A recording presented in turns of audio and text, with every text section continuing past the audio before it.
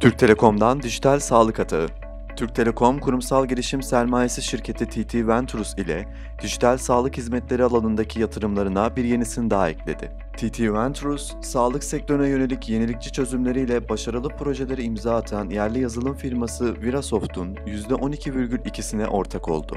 Bu güç birliğiyle TT Ventures, Virasoft'un dijital patoloji alanındaki ürünlerinin geliştirilmesinde önemli rol üstlenecek. Konuyla ilgili açıklama yapan Türk Telekom Strateji, Planlama ve Dijital Genel Müdür Yardımcısı Barış Karakullukçu, 2018 başında kurduğumuz sektörün ilk kurumsal girişim sermayesi şirketi TT Ventures ile büyüme aşamasındaki yenilikçi teknoloji girişimlerine yatırım yaparak ülke ekonomisine katma değer oluşturmayı hedefliyoruz. Dijital sağlık hizmetleri öncelikli yatırım alanlarımızdan biri.